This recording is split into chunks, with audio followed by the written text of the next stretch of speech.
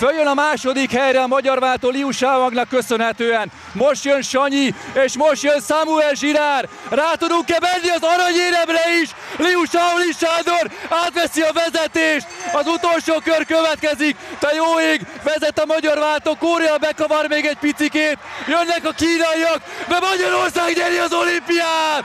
Te jó ég, megvan az olimpiai bajnoki cím. Hogy csinálták meg a végén? Sziasztok! Az SM Trendtól következő vendége az olimpiai bajnok Liu Shaoang. Szia! Köszönöm szépen, hogy elfogadtad a meghívásomat. Ugye elsőnek az úszással próbálkoztál meg kiskorodban, utána jött a kori. Hogy jött a váltás? Ugye a klóros víztől nagyon sokszor betegek lettünk, aztán, aztán ugye próbáltuk ezt, ezt orvosolni, ugye abba az úszást, utána, utána épp, hogy bejött a tél, és akkor gondolkoztunk, hogy akkor, akkor lehetne valami téli sportág. Ö, hát a hokit azt, azt nem nagyon vállaltuk volna be, amikorival együtt, szóval, szóval leginkább csak ez a, ez a, ez a, ez a három volt, ugye a gyorskorival együtt, aztán, aztán végül a gyorskori maradt. És milyen érzés így példaképnek lenni, hogy ugye most itt vagyunk a, a jégpályán, itt kint van a képed a falon is, mint olimpiai bajnok, Ö, hogyan tudod motiválni a kicsiket? Ö, nagyon sokszor volt, hogy, hogy lejártam a kicsiknek az edzésére, és, és besegítettem itt a, itt a, itt a, klub, a klubnak a, az, edz, a segi, az edzéseibe, és, és próbáltam minél többet segíteni nekik. Ö, nagyon szeretünk így, így többen is a kicsikkel foglalkozni, és, és reméljük, hogy majd minél többen fognak jönni gyors korcsolyázni, hisz, hisz úgy érzem, hogy ezt az utat, amit, amit, nekik, amit, amit mi megszenvedtünk, azt nekik már nem kell kitaposni, és nem kell megszenvedniük. És hogyan készültetek az olimpiára? Mennyit áldoztál fel ezért? Hát ugye mindenki azt mondja, hogy négy éves ciklusban van ez az olimpia, de, de igazából majdnem nem az egész életünket áldozzuk fel erre, hisz, hisz tényleg minden kisgyerek, aki elkezd sportolni, szerintem mindegyiknek az az álma, hogy, hogy egyszer majd olimpiai bajnok lesz. Szóval szerintem ez, ez, ez majd, hogy nem egy, élet, egy életen átmegy. És mondjuk tegyük föl, hogy marha jól sikerül a felkészülésed bent vagy a döntőben, és mondjuk az utolsó kanyarban buksz egyet, de még van két versenyszámod. Hogyan tudod túltenni magad ezen, illetve hogy összeszed magad százszerzékosan következő futamra?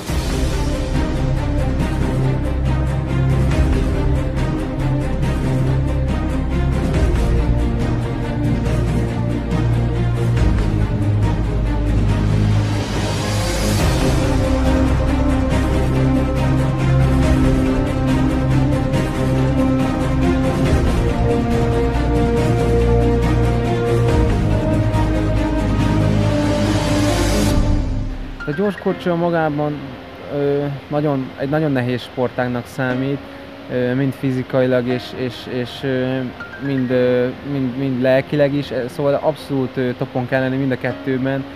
Ö, nagyon sok ö, futam van, és tényleg bármikor elesett az ember, bármikor kicsúszhat, ráléphet egy bójára, eltörhet a pengéje, elmet az éleson, szóval nagyon sok ok van, amiért, amiért ö, hibázni lehet. Persze, persze szerencsére azért ö, négyből, négy, négy futamot tudunk menni ugye a váltókkal együtt, szóval, szóval ha akár hibázunk is az elsőben, akkor az nem azt jelenti, hogy ott vége van a futamoknak, nem azt jelenti, hogy vége van a napnak, hisz még ugyanúgy rajtos tudok állni a, a, többi, a többi futamhoz, a többi versenyszámhoz. Persze nagyon nagy mentális, például ha az olimpiát nézzük, akkor nagyon nagy mentális ütemen mentem keresztül jó magam hisz, hisz ugye mind a három távon kizártak egyénibe, és utána föl kellett állni még a váltóra.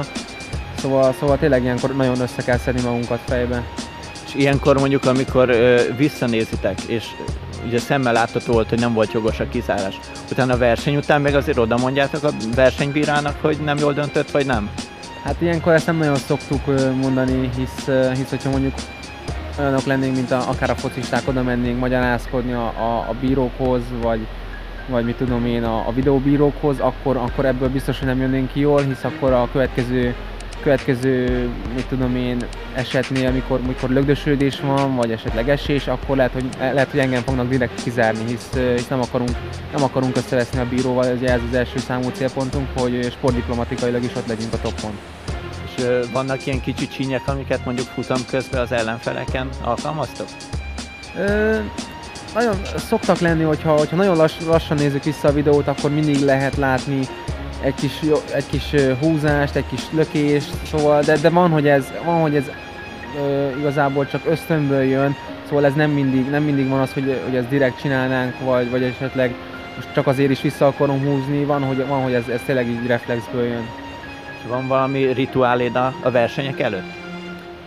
Ö, nem nagyon szokott lenni. A váltófutamok előtt szoktunk nagyon jó kis motivációs zenéket berakni, és, és általában azokkal próbáljuk egymást buzdítani így a váltók előtt. Az rendben van, hogy a váltóval, a tesóddal együtt versenyeztek. De milyen ellene versenyezni? Ö, hát ezt sokan kérdezték már, és ö, most már egyre többet megyünk együtt szerencsére. Ö, van, hogy ez nagyon nehéz, de van, hogy ez, ez nagyon jól tud kijönni, hisz ö, hogyha, nehéz, hogyha nehéz az eset például, akkor mi van, hogyha, hogyha véletlenül őt lököm ki a futamban, vagy, vagy egymásnak ütközünk, vagy akármi van. De viszont a jó, jó ebben, hogyha, hogyha tényleg ott vagyunk a topon, és, és együtt tudunk dobogóra állni, az hihetetlen érzés számunkra.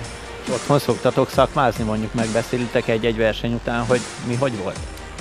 Nem igazán szoktunk otthon így a koriról beszélni, hogyha ugye, ketten lakunk otthon, de, de nem, nem igazán szoktunk erről beszélgetni. Milyen az az áldó, akit nem lát a média, hogy mit csinálsz a szabadidődön, hogy hogy telik a napjaid?